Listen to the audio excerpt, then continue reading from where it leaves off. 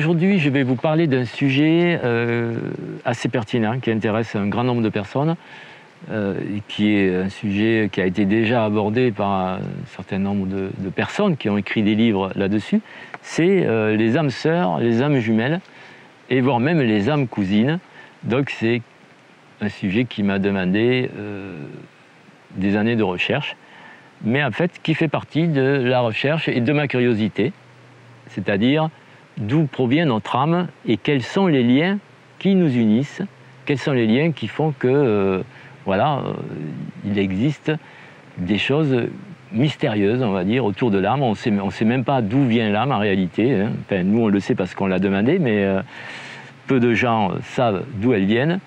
Et effectivement, nous avons des réponses mais ces recherches, il faut quand même que je précise que je ne les ai pas faites tout seul, je les ai faites avec des groupes de recherche, avec mes élèves, avec des formateurs de mon école, donc avec un certain nombre d'initiés capables de communiquer comme moi avec des présences invisibles et donc de recevoir des informations complémentaires, pertinentes, qui nous ont permis de réaliser un schéma explicatif qui, on pourrait dire, synthétise comment se manifeste l'âme par rapport à l'esprit et quels sont les liens qui unissent les âmes. Donc, euh, euh, il est évident que pour des personnes qui ne communiquent pas avec le monde invisible ou qui, n'ont pas acquis le clair ressenti, il va être difficile euh, de valider nos recherches. Par contre, pour des personnes qui pratiquent le clair ressenti, ben vous allez tout de suite pouvoir valider nos recherches car nous avons découvert des choses on va dire, extrêmement simple à vérifier. Euh, c'est ainsi que, par exemple, on a découvert que quand euh, deux âmes sœurs se rapprochent l'une de l'autre à moins de 3 mètres, sur leur corps, il va, y avoir des systèmes qui vont s'activer.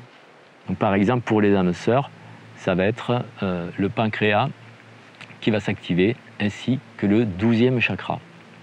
Donc, si le pancréas, en plus, il va s'activer à un niveau bien précis, au, douzième niveau. Donc chaque organe, chaque glande, chaque plexus peut avoir plusieurs niveaux d'activation, comme on l'a déjà étudié dans mes livres précédents sur le corps humain. Et là, on arrive à un point où on est capable de pouvoir mesurer des interactions entre les êtres, des liens qui nous unissent et qui vont démontrer certaines choses.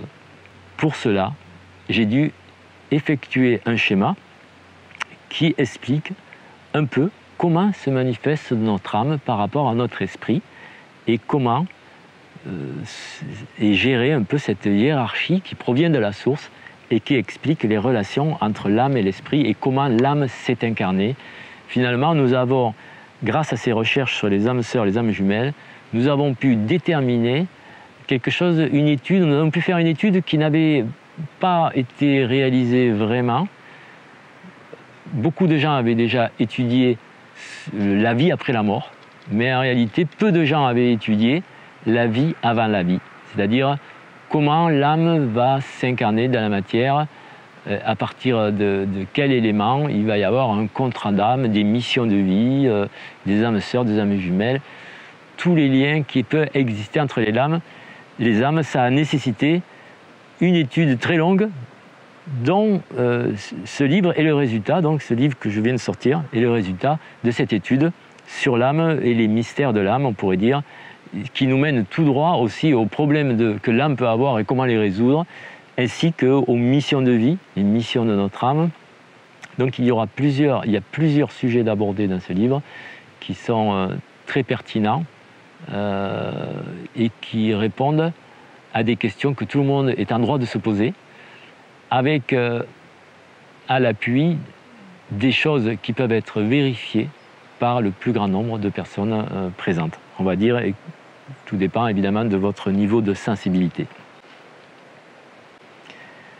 Donc on pourrait interpréter ce, petit schéma. On voit que tout à fait en bas du schéma, il y a un esprit qui gère cinq âmes et trois présences non incarnées, trois présences non humaines, non incarnées, et en fait, ça voudrait dire que nous avons un esprit commun avec quatre autres personnes humaines. Ces quatre autres personnes sont, en réalité, s'appellent, on pourrait les appeler nos âmes jumelles, car elles partagent le même esprit que nous. Et ces quatre autres personnes, le jour où nous allons les rencontrer, il va se passer des choses conséquentes. Entre autres, il va y avoir des phénomènes qui vont s'activer en nous, qui vont pouvoir être mesurés et qui, qui vont pouvoir être ressentis par, par chacun de nous. En ce qui concerne donc les âmes jumelles, ce qui va s'activer dans la personne, ça va être le thymus, la glande du thymus, donc, qui se trouve ici, qui va s'activer au 12e niveau, ainsi que nos ailes donc cristallines, nos ailes divines, qui, sont, qui partent, on va dire, des omoplates et qui elles aussi ont, une capacité d'activation sur plusieurs niveaux. Les ailes, elles vont s'activer au cinquième niveau. Alors tout cela, évidemment, il euh, faut avoir lu peut-être mes livres précédents pour connaître la constitution ésotérique du corps humain pour, comprendre qu'on a des glandes qui peuvent s'activer, qu'on a des, on a des chakras, on a des plexus. Donc euh, quand je parle des ailes, c'est du plexus angélique, c'est un plexus qui se trouve entre les omoplates, qui, qui peut s'activer aussi sur différents niveaux. Donc eh bien, en réalité, on a découvert que quand on s'approchait de notre âme jumelle à moins de 3 mètres, dès qu'on s'approche de la personne de moins de 3 mètres, si c'est notre âme jumelle, il va y avoir des choses qui vont s'activer dans notre corps et dans le corps évidemment de l'autre personne, de l'autre personne qui est votre âme jumelle.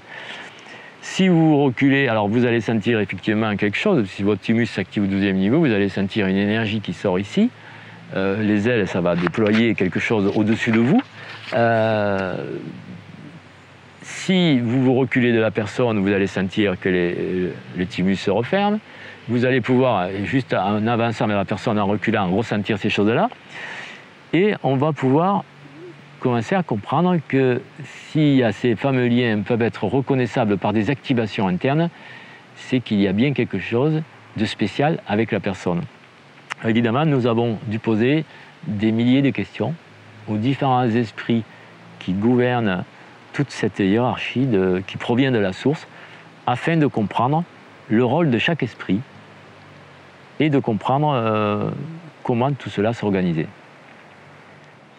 Donc si on reprend le schéma, on voit qu'il y a un esprit qui gouverne cinq âmes humaines. On ne va pas parler des trois présences non incarnées pour ne pas compliquer la situation.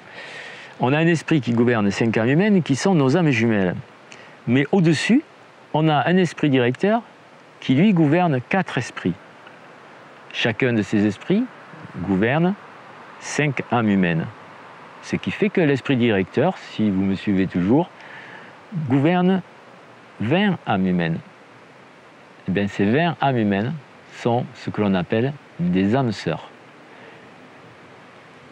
Ces âmes sœurs n'ont pas le même esprit, mais ont le même esprit directeur. Et quand les âmes sœurs vont se rencontrer, il va se produire aussi quelque chose. Si ces âmes sœurs se rapprochent euh, de moins de 3 mètres, cela va activer chez elles, ça va activer le pancréas au 12e niveau et ça va activer aussi le 12e chakra. le 12e chakra, c'est un chakra qui est au-dessus de nous, assez haut, qui va être un peu plus difficile à sentir que le pancréas, mais le pancréas c'est très facile, il se situe au niveau de l'estomac et quand il va s'activer, ça, va créer au 12e niveau en plus une forte énergie qui va sortir à, ce niveau-là. Donc là aussi, sachant que c'est ces deux, deux choses qui s'activent au moment de la rencontre, on va pouvoir facilement déterminer si la personne est une âme sœur ou pas. Et en plus, comme nous avons la capacité de communiquer avec l'esprit directeur, nous allons pouvoir confirmer cela en communiquant avec l'esprit directeur et en lui posant la question. Si on continue, et qu'on analyse les schémas en remontant vers la source, on s'aperçoit qu'il y a quatre esprits directeurs qui sont gouvernés par un esprit superviseur. Ça veut dire que l'esprit superviseur gouverne donc 80 âmes humaines, puisque dans chaque esprit directeur, nous avons dit qu'il y avait 20 âmes humaines. Donc l'esprit superviseur gouverne 80 âmes humaines, et ces 80 âmes humaines ont en commun d'avoir le même esprit superviseur. Mais ces 80 âmes humaines vont avoir une relation que j'ai appelée une relation d'âme-cousine, c'est-à-dire qu'elles partagent le même esprit superviseur. Et cette relation d'âme-cousine, elle aussi, va pouvoir, va engendrer euh, une activation au niveau du corps qui va pouvoir être reconnue par, euh, les initiés au clair ressenti, ou du moins ceux qui ont suffisamment de sensibilité pour percevoir cela.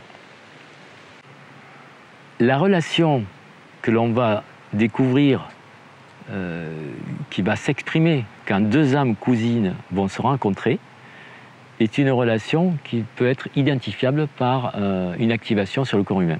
En fait, pas une activation, deux activations, puisqu'en réalité, il va y avoir la Kundalini qui va s'activer au cinquième niveau. La Kundalini étant un système dont je parle aussi dans mes livres précédents, mais que tout le monde connaît, j'imagine.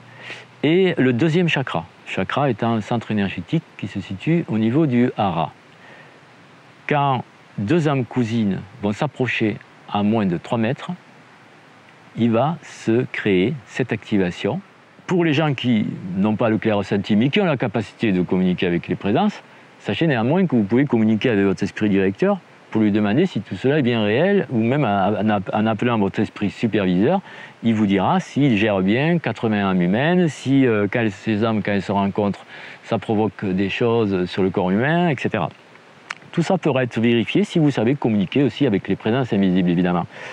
Donc vous avez deux moyens de communiquer, de vérifier, je veux dire, soit par le clair ressenti, soit par la communication avec les présences.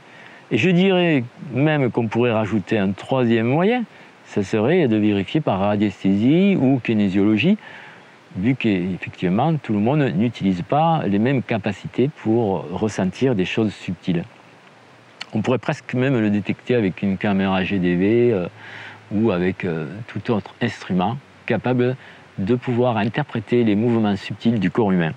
Donc on pourrait même prouver scientifiquement tout ce que je raconte si euh, on s'en donnait la peine et si on avait effectivement les appareils de mesure nécessaires.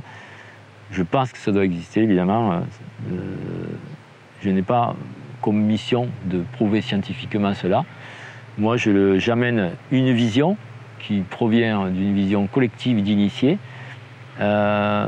qui peut être validé par le clair ressenti, qui peut être validé par la communication avec les présences invisibles, qui peut être validé par euh, la radiesthésie, la kinésiologie.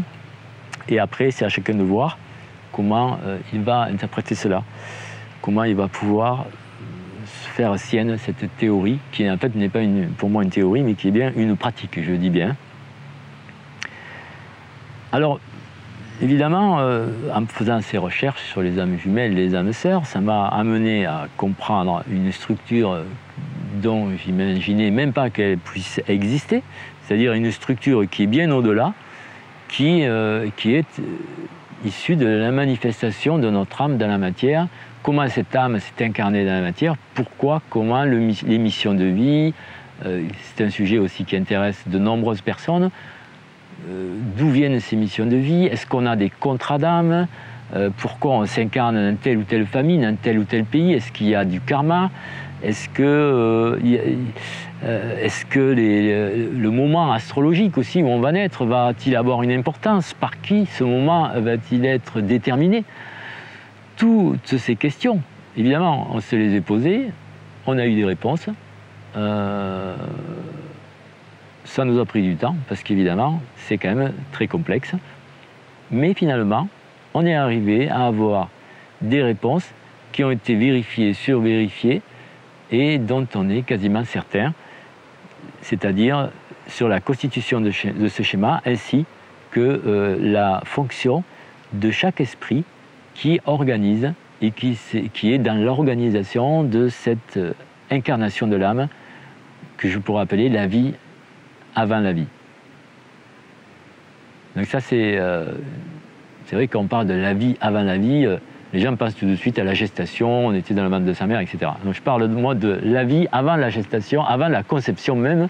Donc c'est la vie avant la vie, avant la conception, on pourrait dire. C'est-à-dire comment, avant même la naissance, avant la conception même, comment il y a eu un choix qui a été fait par l'âme en relation avec des esprits qui proviennent de la source et qui ont décidé de quelle façon l'âme allait se manifester, à quel endroit, avec quelle mission de vie, dans quel pays, etc. Donc évidemment, toutes ces recherches nous ont amené à comprendre tout ça. Euh, ce qui a été euh, on va dire, merveilleux pour la compréhension globale de, notre existence, parce que tout le monde se pose un jour cette question, euh, quelle est réellement notre mission de vie? Est-ce qu'on en a une déjà? Est-ce qu'on a une mission de vie? Est-ce qu'on en a plusieurs? Est-ce qu'on est qu'on l'a réalisée ou est-ce que finalement on est passé à côté? On peut se le poser, surtout à partir d'un certain âge, on se dit oui, mais là, euh, si j'ai raté ma mission de vie, il faudrait peut-être euh, que je la connaisse au moins avant de dire que je, l'ai réalisée ou pas. Donc ça demande effectivement une petite recherche. Euh, il se trouve qu'à l'heure actuelle, le niveau de conscience globale de l'humanité fait que beaucoup de gens se posent ce type de questions. Les gens peut-être en ont marre de tourner en rond ou de se poser des questions qui, n'ont rien à voir. Ils ont envie de se poser des véritables questions pertinentes. Et parmi ces questions, on pourrait se dire euh, quelle est notre mission de vie? Je dirais même que c'est peut-être une des plus pertinentes.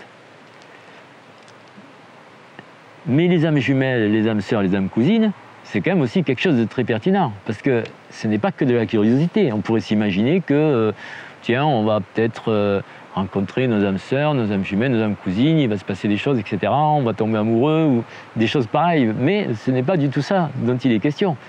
En réalité, ce type de relation. Il y a beaucoup de mes élèves au début qui m'ont dit mais à quoi ça sert de, de retrouver ces âmes sœurs ou ces âmes jumelles? Ce qui se passe, c'est que à travers tout ça, il y a autre chose, il y a des choses mystérieuses qui se produisent dans l'interaction de ces présences d'âmes sœurs ou d'âmes jumelles. Une des choses parmi les plus mystérieuses, c'est que il y a une amplification de nos capacités. Quand on rencontre par exemple une âme sœur, toutes nos capacités sont amplifiées par 12. C'est-à-dire, si je, me retrouve avec une âme sœur à côté de moi, eh bien, si on active un système interne, si on fait un vœu, si on fait une prière, si on fait une action X ou Y, cette action va être l'équivalent d'une action qui serait conjointe avec 12 personnes. Alors jusqu'à là, on dit ouais, c'est pas mal. Ce qu'il y a, c'est qu'après, on peut aller plus loin. Vu que nous avons 19 âmes sœurs, vu qu'on est 20 en tout avec le même esprit directeur. Donc on a plus soir, ça fait 20, mais on a 19 autres âmes sœurs. Si on rencontre deux âmes sœurs et qu'on est du coup 3, eh bien l'amplification, ça va être de 12 par 12. C'est-à-dire que tout d'un coup, euh, le système qu'on va activer, la prière qu'on va faire, ça va être l'équivalent d'une action qui serait faite par 144 personnes. Et si on va plus loin, si on est 4, eh c'est encore multiplié par 12, et là on arrive à des nombres qui sont exponentielles. Et donc on va trouver, si on est quatre, eh si on est quatre âmes à faire une action, c'est comme si on était en gros 1800 euh, personnes à projeter de faire la même chose. Donc là, on s'aperçoit qu'on touche euh, à quelque chose de complètement fou, de complètement merveilleux. On ne sait pas encore ce qu'on va faire. nous, on en a déjà une idée. Mais je veux dire, quand on apprend ça, on se dit, qu'est-ce que, comment on pourrait utiliser cette capacité? D'autant plus que cette capacité d'âme sœur est encore différente quand ce sont des âmes jumelles. Quand c'est des âmes jumelles, c'est encore, mieux, je dirais, puisque deux âmes jumelles qui activent un système ensemble, c'est comme si elles étaient 144. 144 personnes qui font la même chose, la même demande, la même prière, la même action dans le monde invisible. Et si c'est trois âmes jumelles, ben c'est 144 fois 144. Ça veut dire que là, du coup, on est 20 000 personnes. Et là, ça commence à devenir. Euh, ah, là, on se dit 20 000 personnes. On serait comme avec trois personnes, on peut faire l'équivalent de 20 000 personnes qui méditent ensemble, qui méditent pour la paix, qui méditent pour la planète, qui, qui font une action collective. Si on a conscience de notre pouvoir créateur, alors là, ça va commencer à nous intéresser. On va se dire, là, ça vaut peut-être le coup que je cherche mes amis jumelles, même s'il n'y en a que quatre sur la planète, je vais essayer de les trouver. Alors évidemment, on va me dire, mais si justement s'il n'y en a que 4 euh, sur 7 milliards d'humains, ça risque d'être un peu difficile. Sauf si on a le clair ressenti. Pourquoi? Parce que d'abord, on pourra les reconnaître. Et secondo, on a la capacité de communiquer avec notre esprit, notre esprit directeur. Et, et, eux, ils savent où sont les autres. Ils savent où sont les autres âmes jumelles. Ce qui fait que finalement, si on communique bien, on va apprendre à les trouver et on va finalement les trouver. Moi, j'ai réussi à trouver mes quatre autres âmes jumelles. Euh, je ne dis pas qu'elles habitent toutes au même endroit. Il y en a une au Costa Rica, une à l'île de la Réunion euh, et deux en France. Euh, non, une en France et une en Thaïlande. Donc vous voyez, ça fait quand même quatre pays différents. Ceci dit, ce sont des personnes qui ont un niveau spirituel assez élevé et qui ont conscience de l'interaction qu'il peut y avoir entre nous. Et en réalité, dans le même groupe d'âmes, il y a euh, des gens qui ont un niveau d'évolution spirituelle assez comparable.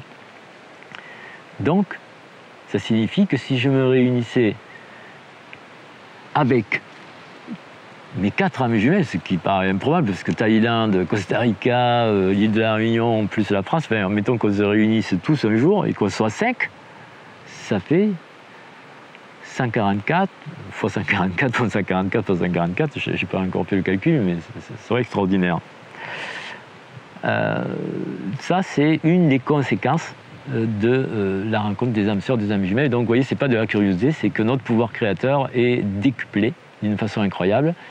Et, comme on le sait, notre pouvoir créateur, on crée notre propre réalité. Ça, je ne vous l'apprends pas. Il y a plein d'enseignants qui l'ont dit. Et ça a été déjà démontré qu'on est les créateurs de notre propre réalité. Et donc, du coup, si notre propre pouvoir de création peut être amplifié par des milliers, voire des millions, euh, on ne va pas s'en priver. On va essayer de se réunir et de faire des choses merveilleuses. Donc, moi, ce que je vous propose, à travers toutes euh, ces expériences, à travers ce livre, c'est euh, de faire des actions collectives pour la planète, pour le plus, grand bien de l'humanité, pour le plus grand bien de la Terre. Utilisons notre pouvoir créateur, réunissons-nous entre familles d'âmes sœurs, d'âmes jumelles, d'âmes cousines, utilisons tout notre pouvoir personnel pour pouvoir euh, amener la lumière sur la Terre et, transformer cette planète et, la, lui redonner vraiment euh, euh, le paradis, je veux dire, la remettre dans, dans, ce paradis qu'elle devrait être et pas dans, ce type de chaos, de pollution et de manipulation mentale dans laquelle on se trouve. Donc là, il y a maintenant, c'est un appel aux êtres éveillés, ce livre, c'est un appel. Voilà, si vous êtes vraiment réveillé, si vous êtes capable de, de comprendre de quoi je vous parle, alors on va pouvoir vraiment faire des choses ensemble. Voilà, je vous remercie et je vous expliquerai plus tard comment on pourrait faire. Merci.